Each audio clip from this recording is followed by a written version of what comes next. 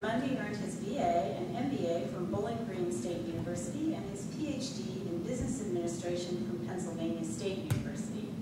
He is currently the John Barriger Professor of Transportation Studies and Director of the Center for Transportation Studies at the University of Missouri-St. Louis, where he teaches courses in supply chain management and transportation. He is the author of numerous industry reports and an active lecturer at National Transportation and Logistics Seminars, and a frequent contributor of to trade publications and journals. Dr. Mundy sits on the editorial boards of the International Journal of Transportation Planning and Technology and the Transportation Management Journal, and is a consultant to both public and private sectors, including engagements with numerous U.S. airports and their ground transportation companies, the U.S. Department of Transportation, World Bank, Burlington Northern, and the Cola Company, to name just a few. He is also the executive director of the Airport Ground Transportation Association and director of the Tennessee Transportation and Logistics Foundation. And we are pleased to have him here with us tonight to talk about the disruptive history of vehicles for hire. Won't you please join me in welcoming Dr. Ray Mundy?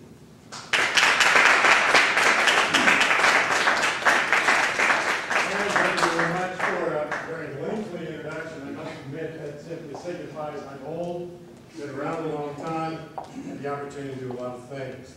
Uh, I appreciate everyone turning out tonight, and it's such a beautiful evening out there. So I very much appreciate uh, you coming in to listen to uh, really something that was a journey for me um, in doing history uh, research.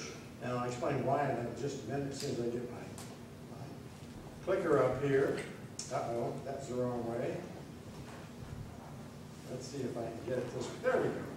Um, I wanted to explain that I'm the third of my group, uh, which is the Center for Transportation Studies at the University of Missouri-St. Louis, to speak. Um, I am the only non-historian.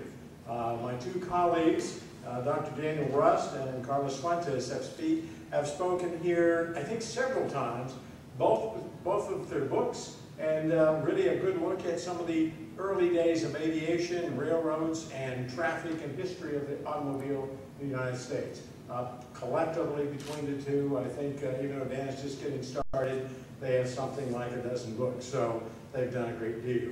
Uh, I only have, uh, in the last period, uh, last couple of years, the, the last couple of years, the only book I finished was one, but it did deal with the taxi cab industry called Taxi urban economics and the social impact. Uh, by the way, it's only five years old, it's completely out of date. We were talking about regulation and communities, both here and abroad, especially Great Britain. Uh, that was before Uber and Lyft came along. So I'm really going to say that doing the first chapter in the book and looking at what's happened now, I really wanted to go back and say, can we find from history any sort of cycle or links as to what may happen now that we have Uber and Lyft and this so-called disruptive technology that's coming about in this industry. So hopefully in the period of class time, 40, 45 minutes or less, I can carry you through that journey and make some implication as to what I think is going to happen in the future and where we are with this so-called disruptive technology. Uh, I do want to make a shameful plug, if you will, not bad, that uh, I do want to thank uh, really uh, Blanche who was the uh, chancellor of our university for many years. She had this idea of establishing a center for transportation studies that wasn't just engineering or it wasn't just business, as most of them were, most of them are today, but we were unique with her idea that we should be a bridge transportation center that attempted to bridge contemporary and historical aspects as well as economic and business aspects together under one center. So we've been around for about 17 years, done a lot of research. We have a number of courses that uh, are being offered at the university today under the transportation banner, and so we feel quite good about it. As a matter of fact, I introduced uh, Carlos and uh, Dan just a few minutes ago. Uh, I also wanted to say hello to my colleague Mike Edwards, who's brought up for moral support. Mike is teaching with us in the transportation field and has just joined our faculty. Uh, but transportation is in his blood, by the way. His father was a transportation professor at uh, UM Columbia for a number of years. So he grew up uh, hearing about the ills and problems of transportation, and I suppose a few comments about academia from time to time also. But I think this idea is unique, and it's helped us in guiding us in developing this center for students and the courses that we teach. The title of the talk, though, Chariots, Horses, and Taxis, uh, really follows, and by the way, do I have any, I shouldn't say that, I shouldn't before I go there, do I have any taxi drivers here? I thought maybe we were drawing one or two, they're probably out trying to make a living, but to be honest with you, they're in probably the third or fourth oldest profession.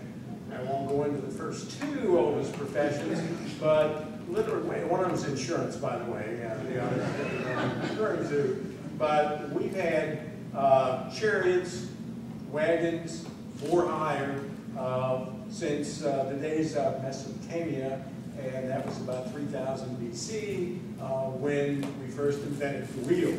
Shortly after that, we domesticated the horse, uh, the chariot, or the wagon, and for hire began way back then. I'm not going all that far in my, in my presentation tonight. I'm simply going to try to cover briefly the uh, early regulation, the first taxis as they came online, really the jitney experience, uh, taxi wars in the 30s. I'm following that, that age-old principle of tell people what you're going to tell them, tell them, and then summarize it. So this is pretty much what we're going to cover tonight. The birth of water taxi regulations, um, our cycle of regulation, deregulation, and then re-regulation, and of course the impact that the birth TNCs are having. I do have a theory, and it's the reason I was researching this, and that was the fact that we've seen this before. We've seen total deregulation of the sport carriage or higher industry way in the past, several different times, and it always resulted in re-regulation. So I wanted to see what were the common threads that basically led us to, first, say, we got to deregulate this industry for our good, and then secondly, how long it took for us to re-regulate it because we felt we needed to in, in sake of public safety uh, and other reasons that I'll go into in a, in a few minutes. Okay, uh, really a fun part. Was really, I spent too much time, by the way, uh, in both writing a paper that I had anyway to do, uh, but in preparing for this presentation, there are just a lot of different pictures about old Roman chariots, and they've been preserved over time. There are whole museums that are set aside for Roman chariots. These are the chariots that were kind of crude, and they were crude. No springs on these chariots. They were typically uh, pulled by two horses. Uh, surprisingly, the single horse chariot and so forth didn't come along for a long period of time. Uh, two horse chariot was primarily the principal mode because they were heavy. They were hard to pull. One of the other interesting facts I read about these old Roman chariots was that women weren't allowed to drive them. Don't know why, into the background of it, but for some reason, for a couple hundred years, from about 300 BC to about 100 BC, the Romans decided women shouldn't be driving chariots. That changed, by the way. I don't know. Maybe the women got organized back in those days and they had a political rally and marched on uh, Rome's capital, marched on Rome, but they changed it about 100 BC.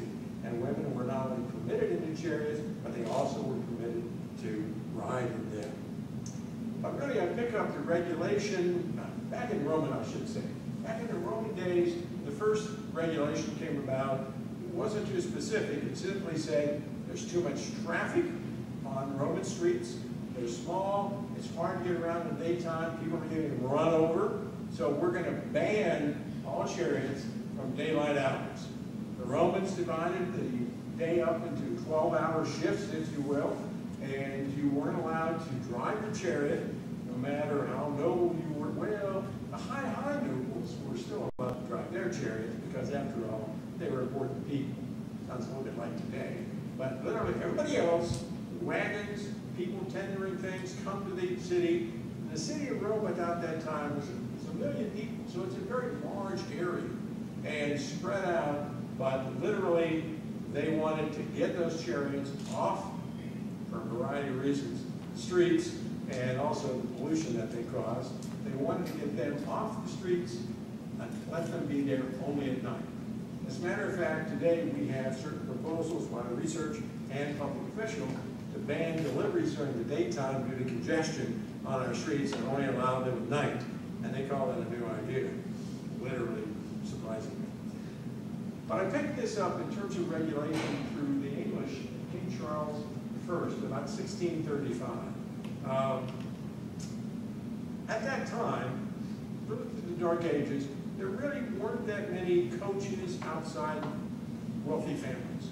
You really didn't have too many people which were driving their own for-hire coaches. A few people had them, but they weren't the kind of for-hire situations where you had a stand, anybody could come, there was a set rate, and you could go someplace. Well, in London, the only way to get around was by water. Matter of fact, Thames Water and Guild had a monopoly. They were, in a sense, our first unions, and they were the ones that transported you. Coaches, as some of the people got middle class, trying to earn more money, you had more people with coaches, you had inns that had people that wanted to go someplace, so they started to establish the first for hire coaches. And this is an idea that caught on really very rapidly.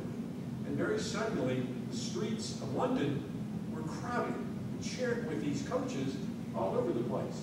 Typically, these coaches were large vehicles, and they were drawn by two horses, sometimes four horses, and they were for people. They always had dray horses for uh, moving goods around, but this is the first time that for hire. Innkeepers, shopkeepers, individuals that suddenly found themselves with a couple of hay burners, i.e. horses, and a coach, they basically got into the business. There was no regulation to it whatsoever.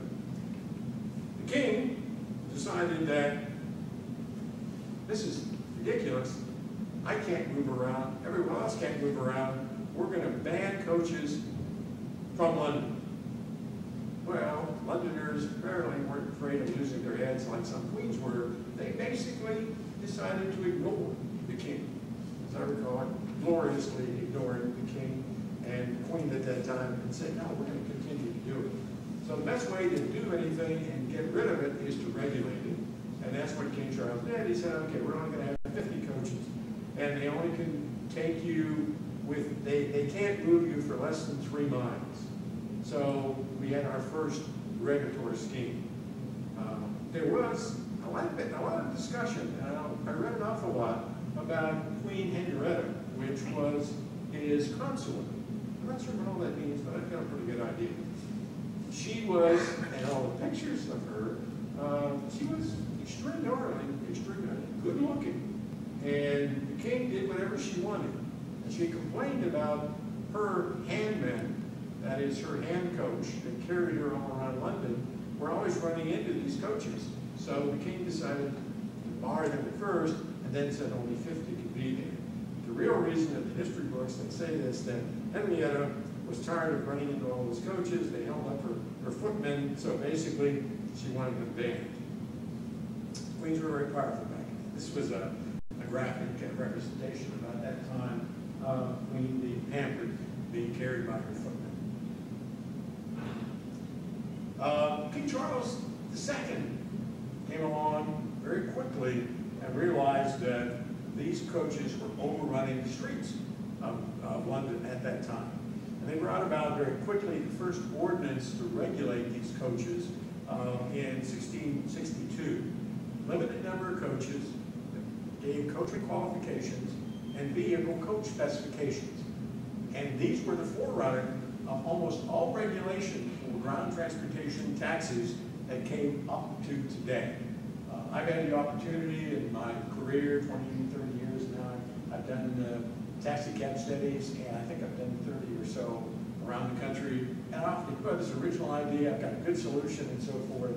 How depreciating it is to read that somebody 400 years ago said the same thing for the same reason, made the same recommendation, only for, this, only for the city of London or Paris or something else. They always follow the same sort of economic reasoning.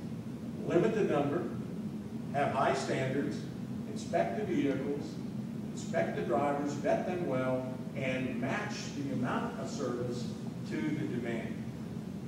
They were thinking that way 400 years ago. This was entered into about 200, 250 years, what I call the golden age of horses, coaches, and coachmen. A very professional job. As I said, the older coaches that were originally brought about 16, 60, and 70 and so forth uh, were quite fancy in many cases, uh, but they were slow. The odd point that I, that I found in uh, reading was the fact that they weren't used during good weather. The kind of day we had out there today, no problem. I can hit the coach. I can walk there faster. The coaches were slow. They were heavy. They were hauled by two horses. Literally couldn't make much time because they had to follow streets wide enough for them. And you could footpath pretty much between the buildings and get there faster. That changed when we brought on the Hansom cab. This was a cab that was lighter, it was pulled by one horse, and developed the original truck. For the first time, Londoners could run around and go through more narrow streets, but they also had a horse that was capable of trotting for long distances at a time, well, two or three miles, everything to bother them. And you had this very popular coach that pretty much spread throughout London very, very quickly and spread throughout Paris, a number of the major cities, and in the U.S. you had this coach, uh, or variations of it, pretty much took over the industry. And, by the way, it like I'm on women tonight, I didn't mean it to be this way, um, there were coachmen and also coach women. There seemed to be no problem of men versus women back in the days of, uh, these days of choosing uh, uh, coachmen it wasn't just the man's job, there were many women that also provided these services. Enter the automobile. I should say, I was going to make this point, I a little note. Horses is in the title of this presentation, but there aren't much more about horses. I read an awful lot about them, and people, we, we think we have a love of the automobile. When you talk about the 1680s, 90s, 1700s, and people and their feelings for their horses, it was a little strange, but they really loved those horses just as much as we loved their automobile. And they treated them very, very well. I said I didn't have much about horses. I don't want to digress. That's my one problem about being a faculty member at NSB. I am what's known as the academic disease. We love to hear ourselves talk. It's really tough to do online courses because in online courses, most of the students do the talking. They do a very well job, by the way. This, generation doesn't want to listen to a prof talk for 45, 50 minutes, even no matter how much he likes himself. Literally, they want to be able to discuss things, and they discuss it very well online. I'm finding it out now, later on in, in my teaching career. About my one instance of, I'll give you a horse example, I won't digress too much. Uh, one city, San Antonio, said, we're doing a regulatory analysis for us, uh, also do the regulations for horse-drawn carriage. Up until that time, that's 25 years ago, I had no idea that we had regulations for horse-drawn carriages also. Sure enough, entry, exit, how the vehicles are to be made, standards, even the horses and what the horses could do, size of horses and so forth, those regulations had existed from the 1650s and 1660s. They're several hundred years old. So I took the top 10 cities in the United States and looked at their regulations for horse-drawn carriages. I use this example. Uh, I don't believe in reincarnation, but if I did, I would ask to come back as a horse providing horse-drawn carriage service in New York's Central Park. You cannot believe the bennies and goodies that these horses receive. They must have a union someplace because they've got a better set of requirements for how they're to be treated, how long they can work before they get a grain break, how much water they have to have each day, and how many people get nine weeks of pastoral recreation each year uh, for being in service uh, at least uh, nine months or ten months.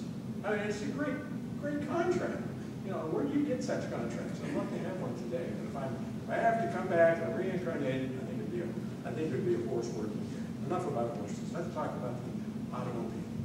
Uh, gas-powered vehicles were chat more faster. Uh, they were cheaper, by the way.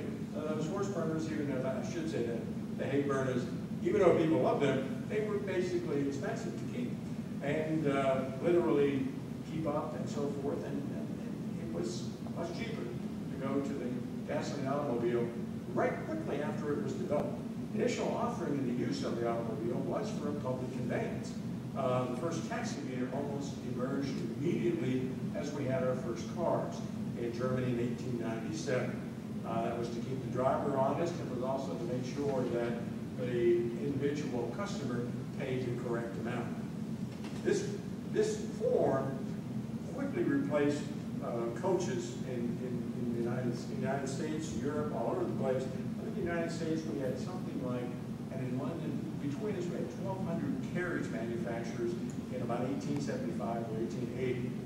By the year 1950, maybe 20, 25 years later, we had maybe 90, 80 or 90. There was that much of a drop in people manufacturing uh, coaches just weren't needed anymore. Um, one of the things very quickly was that this new form of taxi, gasoline powered, became an alternative to street railways company. They were very popular. Just like Uber is popular today and rose very quickly once we had a gasoline powered vehicle and the Model T Ford came about, they became very popular because one thing, they hated street railway companies. And, and typically at the peak time, the cars were crowded, they were hot, uh, and people, even though they enjoyed going from where they worked home, they literally were happy to see this alternative come about. Uh, this, by the way, is uh, one of the early 1897 metered German vehicles. Which looks like a German vehicle, doesn't it? Early 400 tanks. Okay, some of the other pictures here uh, of early taxi cabs that came about very quickly from 1900 to 1910. Uh, we very quickly added thousands of these vehicles. They were very, very popular because they became an alternative for people to afford them to the street railway company. What happened very quickly as we, as we got more and more of these vehicles in the marketplace, um, they flooded the marketplace and began to, began to compete with the street railway companies. Um, I had this picture in here, I forgot it. Interesting tidbit about New York and the first taxi cabs, and this is an example of the first nine that came to this country, they were electric. Sort of interesting. We're working very hard to get back to electric vehicles, and we started out with them as our first taxi cabs. Uh, they had some problems, uh, but they were battery operated.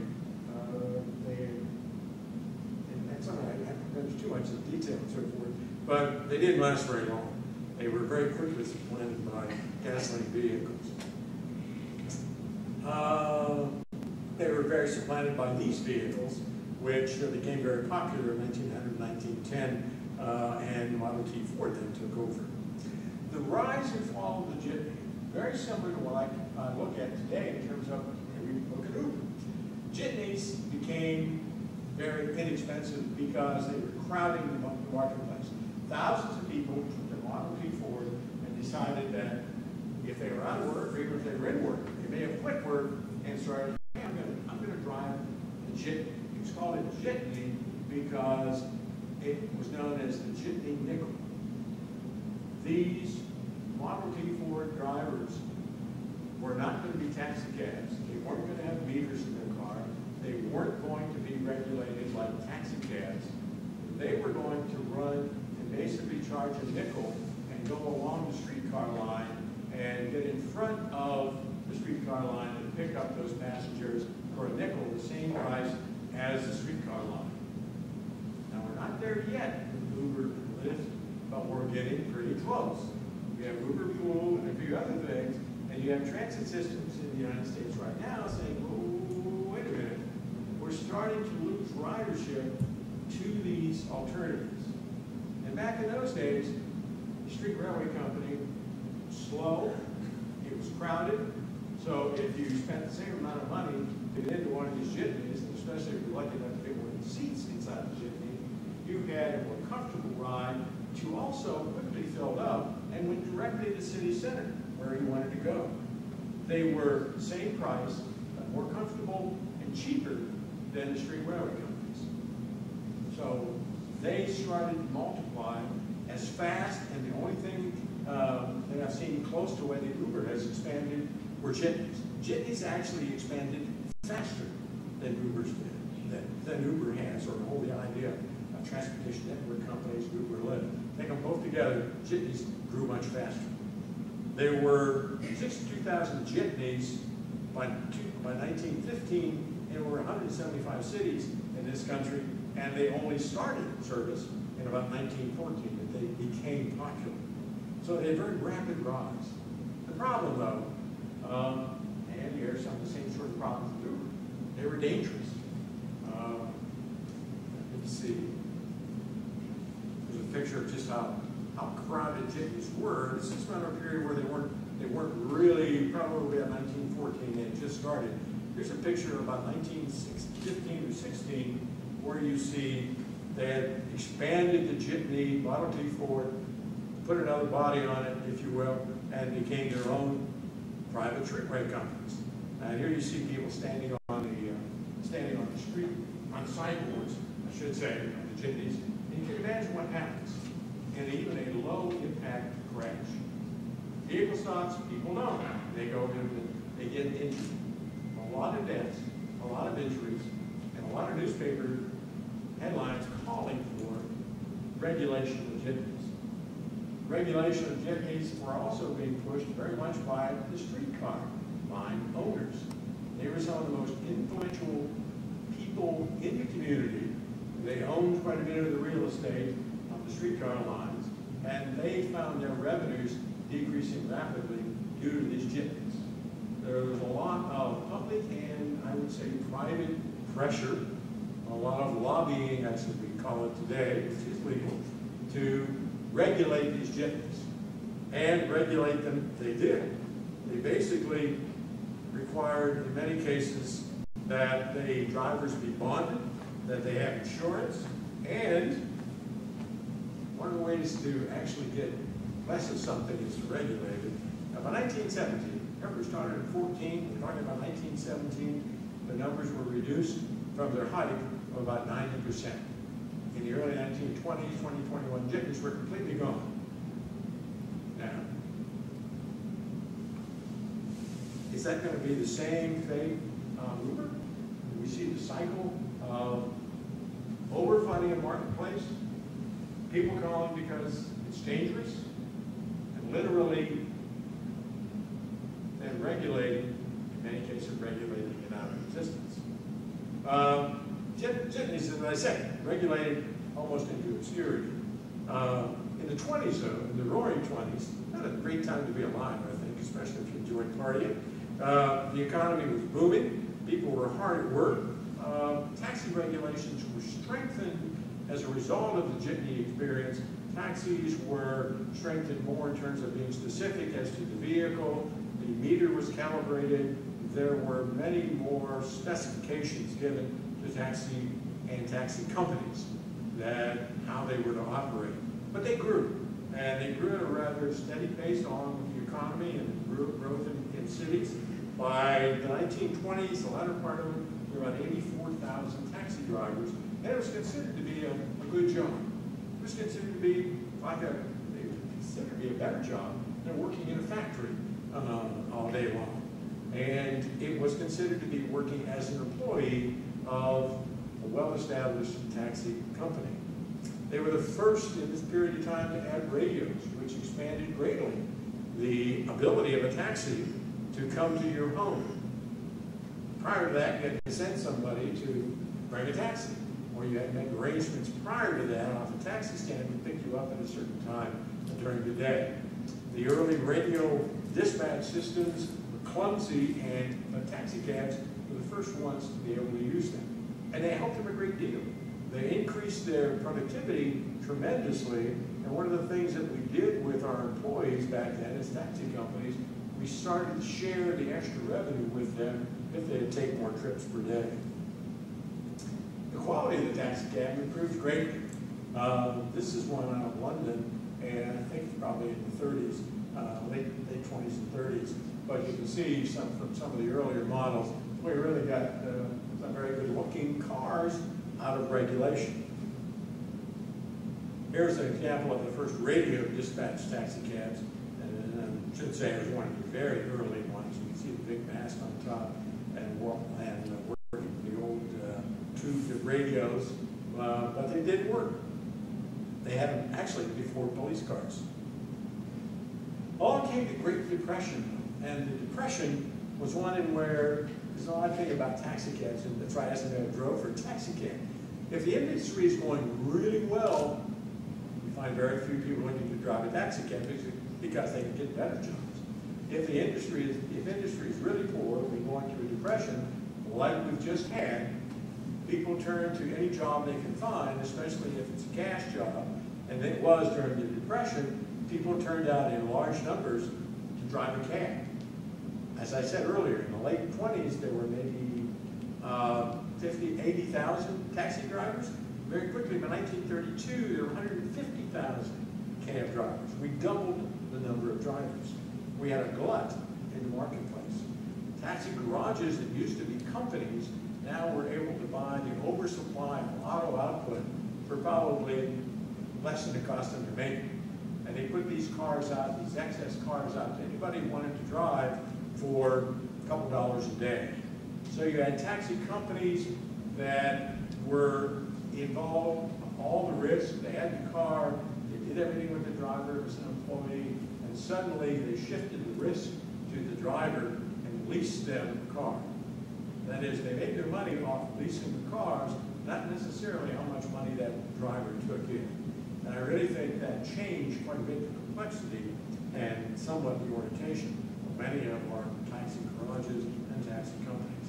But we had such an oversupply, and during the Depression, prices sank, shrank from 70 cents a mile, which would be, in today's terms, about 250 or 270, to 40 cents, to even 15 cents, which would be about a dollar or less per mile in today's terms. Fierce competition resulted in what's known as the taxi wars of the 1930s. I'm sure some of you may be aware that taxi wars got to be so fierce that in New York City, each borough had its own gang, which was the taxi company. And you would take a cab in that borough to the borough boundary. From that borough boundary, you get into another cab because another gang owned that district. And literally, some of the early gangs in New York were taxi companies, taxi gangs, if you will. Um, you hear, show a picture of a gang that uh, upended somebody else's taxi cab. Um, these were literally wars, both in the U.S. and in Canada. And I wish, I wish uh, I couldn't get it to run. There's a 1932 film by uh, everybody's favorite uh, actor at the time, James Cagney. And if you enjoyed uh, watching Loretta Young get slapped around, they were too uh, oriented towards some of the PC things today. Um, it's actually a story about love story between those two, but in between, he's a taxi driver. And he's one of the taxi drivers that is not affiliated with the company. He is a rogue taxi driver. Has great scenes of taxis, these old taxis pushing each other off the highway, people getting in fights. Uh, it really did highlight the whole idea of oversupply and resulting taxi wars, and also some of the price problems they had. Calls for greater regulation once more in New York was known as the Haas Act 1937, which took the same standards they didn't realize it at the time, I didn't either. Took the same standards that King Charles II had in 1635 and literally applied them in New York City. Because the medallions for the first time were, were permitted in New York City. And by the way, King Charles II had medallions for the cab, for the coaches that they, uh, they, they basically licensed. So the whole idea of the New York City medallion cab didn't come about originally with them. It was really developed several hundred years before that. But vehicle standards were set, driver qualifications were set. For the first time, they required insurance of everybody, and they had a fixed price. No longer could you vary the price depending on time of day, or the evening, or if you didn't like the person that got in, or anything like that. It had to be set in standards. Taxi meters were now monitored and literally set everyone was on the same page, if you will profit was limited. And it developed what's known, and I've lectured on this in other places, uh, called the taxi and of regulatory pact. What a regulatory pact does is say, okay, we think regulation is necessary for public safety and public interest. And what the regulatory pact says, if you, the regulated company, give up the opportunity to earn greater profit. But if you, the regulated agree to limit number of vehicles on the streets, abide by our operating rules, hire only our drivers we license, and then we'll protect you from ruinous competition. That's the regulatory pact. And I'm a conservative right down to my wingtips. I don't like regulations, but there are some industries that if they're not regulated, they degenerate into chaos. Customers get taken advantage of, literally you do have, after a period of time, cause for deregulation. If you're trying to get into this industry, the taxi industry, in the nineteen forties, and really up until about the seventies, literally, you had to prove and to break this regulatory contract. You had to prove that the taxi company providing the service, if you wanted to be a newcomer and come into the industry, you had to say, we have identified an unmet demand. And you do with a lot of letters from hotels and other travel agencies saying, uh, we need taxi service, and this and so forth. But you also had to prove that the existing taxi company wouldn't provide service. Now that's what's known as a high bar, very high bar. And very few people were able to break into the taxi industry because of this regulatory compact. The regulatory agency is saying, we'll protect you from ruinous competition. One of the things it did do, a positive aspect, is it stabilized the industry. Okay? You can see under those conditions why it might. The downside is that in a regulated industry that we have here, in a regulated industry, innovation really doesn't come about too easily. There's no incentive for the company to really put amount of money into technology and new things. Sure, you go along with generally what's happening, but you don't disrupt what you're doing because, after all, your rates are regulated, your profits regulated, things are fine, you're going on just fine. And in many cases, regulated industries fall into what's known as more service, better ways of doing it come about, and finally this builds up to where there's a dam of demand otherwise. Uh, I had a couple slides here with the taxi, taxi industry looked like during this period of high degree of regulation. Fondness, some of you, I don't know not too many of you might remember cars that looked like this. I don't want to embarrass anybody. I remember these kinds of cabs when they first came out, well, when they were around. Uh, the old checker cabs developed by the Markin family in, uh, in Chicago and New York mentality. Uh, I've just had a few slides here to show you the impact today, though, under this regulatory framework. Uh, by the way, there's the New York cab of the future. The new cab was introduced last year, and New York City is saying all cabs have to have this capability, this kind of a vehicle, um, as they move forward. New York is the only city, by the way, that requires cabs to be four years or less old, and so they change out probably 3,000 cabs for the industry each year. It's the only city that does that. Eighty percent of the drivers in New York and in many of our larger cities are foreign born, and that's not unusual. The Irish were the drivers of the, uh, of the uh, late thirties, forties, uh, the Italians in some cities. Pretty much, these were exceptional jobs, good jobs. Today, some of the immigrants would argue maybe they're not.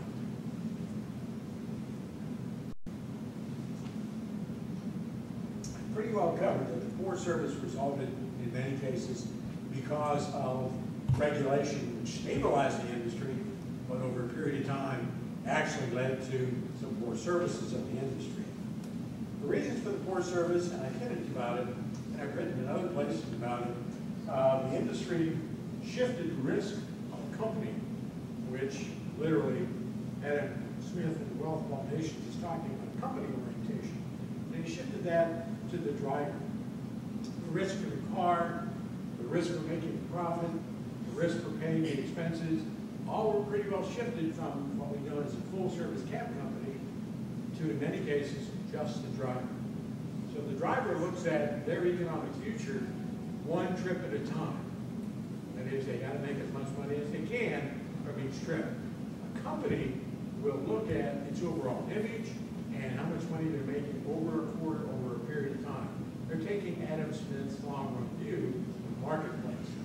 People forget that an individual owner-operator taxi driver is interested in how much money they have to make that day to pay the lease rate, and then they start to make any money for themselves. Not all. You have some very sharp cab drivers out there. One of the things I'm doing studies, I'm trying to suggest to people, there's no, no such thing as the average income for a cab driver. I've seen it in cities that, with the same lease rate that they're paying. I've seen people that go to the airport, sit there three or four hours with their buddies, playing dominoes, checks, cards, whatever. Uh, they can't, religion doesn't allow them to drink, so they're not going to, uh, go to a local bar joint. Uh, they literally, uh, don't want to sit in a coffee, in a cafe drinking coffee all day. Their wife wants them to do something that is productive, so you go to the airport, sit in the cab line for three or four hours, and then you get three or four trips a day. Income, nine, ten, fifteen thousand. I've seen the same company with the same set, the same set of licenses and same sort of fees, and drivers that literally work their permits. They drive six, seven days a week, maybe 10, 12 hours a day, and they take home after, after paying your expenses. Driving a cab, 60, 70, I've seen this high, we had one driver in Denver that actually had reported income up to $90,000 after expenses. Why is that? People work their cab license differently. So when people say you can't make a living then you're not driving cab, it all depends how you want to work that permit. Um, Higher medallion values is another reason of poor service. Medallions work well for one generation of drivers. That is, if you're driving your medallion, it's going to be your retirement. If everything goes right, you may end up with $100,000 or more in the medallion. The only problem is that drivers, don't wait till they get $100,000. The driver gets $15,000, $20,000, $30,000, that may be a house as far as they're concerned. They're going to sell that medallion and you have a secondary marketplace for those medallions. New York City, the medallion value got up to a million, um, four at one time. But, as we'll show you here, and, and somebody has to pay for that medallion. And that medallion cost, amortization cost that is built, built into the actual taxi fare. Movement to the suburbs, two-car families, less, and less use of taxi cabs has also made that industry really a problem. Along comes ride sharing. It says I'm not going to be regulated because I'm basically a technology company, not a transportation company, and I'm not going to have the cost of a taxi company. I'm not going to buy insurance. Uh, I'm going to use people's personal cars. The only thing they bring is a cell phone. I'm going to vet them, and this wonderful app I have is going to allow us to capture a large part of the marketplace. And oh, by the way, I'm going to subsidize about a half to two-thirds of the cost of this entire operation through venture capital money. Now, we have the framework and business strategy of Uber. Uber becomes, with an app, America's private car. People love it, they really do. They have sort of, don't like the taxi cab, here's Uber, driven by a personal individual, cars clean, it's cheaper, in many cases a half, especially if you're not in surge or gouge time. Literally, it is just loved by consumers. The problem is, it's being subsidized, highly subsidized.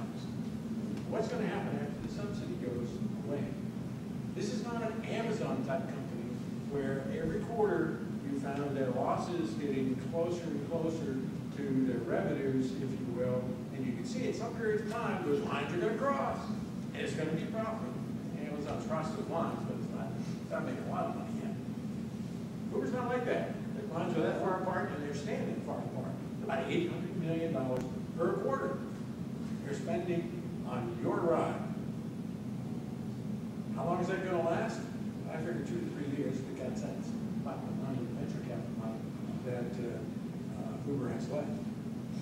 Why is there a problem? In many cases, it's illegal. It's illegal, by the way, to get an Uber X car in the city of St. Louis. we have statewide regulations. The regulatory commission here, the taxing and company, the commission has no other alternative than to enforce these laws and regulations. And the regulations say you must be regulated as a taxi company if you're gonna provide this kind of commercial for hire transportation. So why is it Uber drivers giving tickets? Well, the camera's running here, so I'm, trying to be polite as I possibly can. So while political entities involved, we have a political official, i.e. the mayor, that says we're not gonna enforce that law. We have a situation where, I don't know, is, is St. Louis a sanctuary city? Maybe we have other laws that we're not going to enforce. But we simply said, we're not going to enforce that law. Mainly politically popular to do that. Same thing for sanctions. It's politically popular to say, we're not going to enforce that law because people love this service. So that's where we are in many cities across the country where it hasn't yet been made legal, although they're pretty well going to state levels and getting laws changed so that they are legal. Um, but we have in many cases for them to exist for a while and to look the other way. Now, let me just run through the last few slides. I'm taking the amount of time that I told you, and act time's left to talk. Uh, I'm just showing you some slides here about Lyft in New York. You see the kind of rapid pace once this came about, very much like jitneys. It just grew leaps and bounds. You have a situation where you see Uber's rapid growth here from July, January 15, 250,000 bookings uh, up to well over a million, and that was in a year. One year. Just tremendous growth. As I said, we've seen this movie before.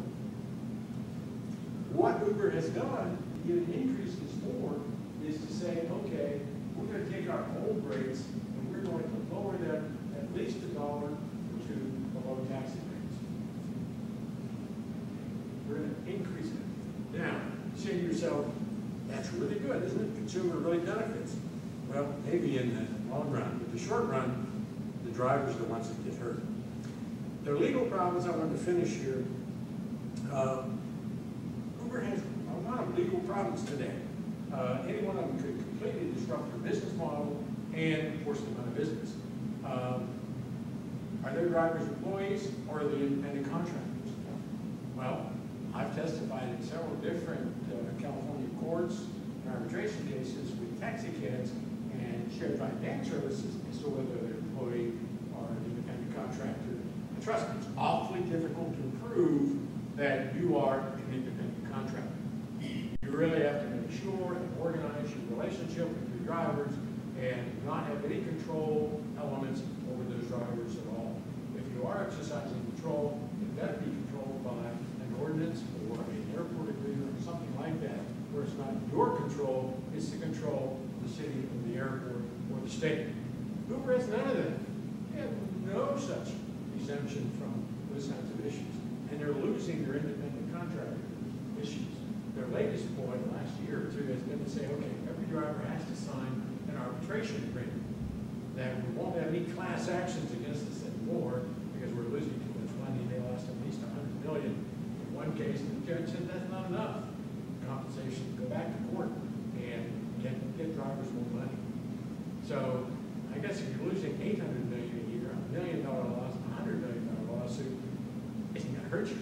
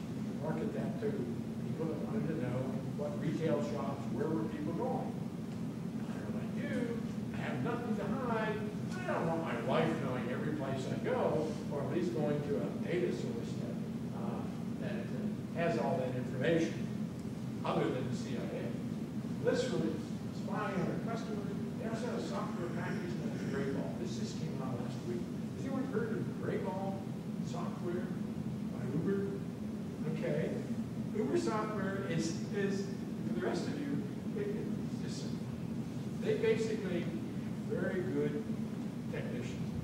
They decided that since they were illegal in many cities and airports, and they were getting tickets, they were paying the tickets for the drivers. They told the drivers, break the law, which is something I trust them to do, break the law and we'll pay all your tickets. But they didn't like paying all those tickets. A friend of mine runs the uh, regulatory and airport system in Salt Lake City, and he was finding them up to four thousand five hundred dollars per vehicle and per driver. It was a nine thousand dollar ticket. He said, hey, that's great, let's just keep going, guys. They developed a software that knows that it's a regulatory person cell phone that's trying to ping to find out where Uber drivers are. If that cell phone were to actually get a an Uber driver to come to him, they would, they would phone that Uber driver and say, cancel it right away. That's a regulatory official. They're trying to trap you into one of these tickets. Is that illegal? I don't know, but it certainly is nefarious, if you will. Uh, I have labeled Uber, I hate to pick on them, no, maybe I don't hate to pick on them, but I have labeled them as a, shall we say, ethically challenged company. They've accused them of being anything illegal outside of court, uh, but I really think ethically, it's a terrible company. Um, you know, if I'm, I did do this to somebody, and I really should. Uh, we were talking about whether or not Uber should be allowed to operate, and I asked the woman that was on the review committee, uh, how do you feel about approving a company that has multiple sexual harassment charges against it? She said, well, that doesn't have anything to do with this. This has everything in the world to do with it. You know, you're a government official, you're, you basically are applying minimum standards to the ethicalness of, of this particular company. Um, Okay, Uh, current financial problems, I won't go into it other than to uh, say that uh, if you're a driver, you go through this business model, you invest in making five dollars an hour. Some of the cities, we have found that they're making as little as two dollars and fifty cents a mile. Why do they do it? They have a hundred percent turnover rate every six months in their drivers. You know, people find out, hey, I'm really in danger myself, my car, uh, my liability's there, they're not making any money, so I'm, just not gonna do it anymore. Others, hey, think it's a lark, it's a nice thing to do, I've got nothing else to do, I got a car, I want to meet people, it's a way to go out and do that, it's called, or what we call it, we call it gig economy. So let me summarize by saying, why do we regulate in the first place? Ever since the Roman days and King Charles and New York City and everybody in between, we regulate because the public demands it, for public safety. And to make sure that people get a fair deal, they're not taken advantage of, they're unscrupulous operators out there. There are many other examples of where this happens, where we don't have regulation. Okay? The regulatory compact, as I said, it's good because it adds stabilization, but it's bad because it really is not very good for innovation and change. Why do we deregulate taxes? Because we come along and economists say, hey, if we deregulate, we'll have better competition, we literally will eliminate all this, uh, this inefficiency and so forth. Every time it doesn't work out that way. Economists can't figure out why. I'll tell you why. Because the economists that are telling us that only read the cliff notes of Adam Smith's Wealth of All Nations. They're thinking about what companies do. And when you get deregulation, a lot of people running around just looking at how much money they're making the next trip, they're thinking about just that.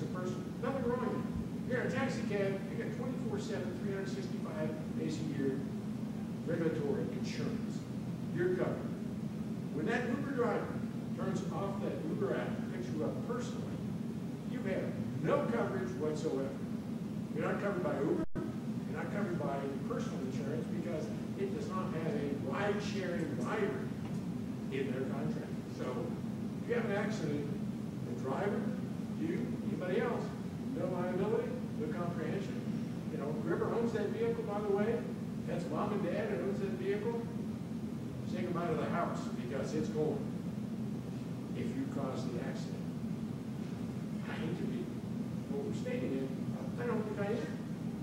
I honestly think you are really engaging yourself.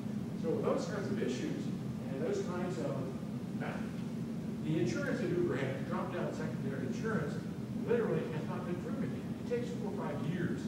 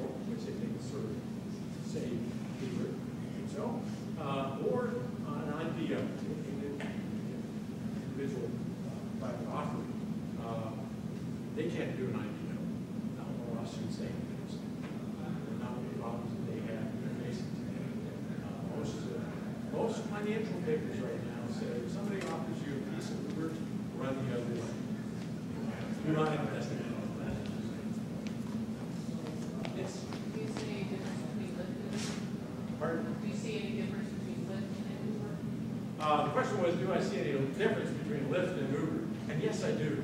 Uh, Lyft isn't spending nearly as much money. Uh, Lyft is charging more reasonable rates.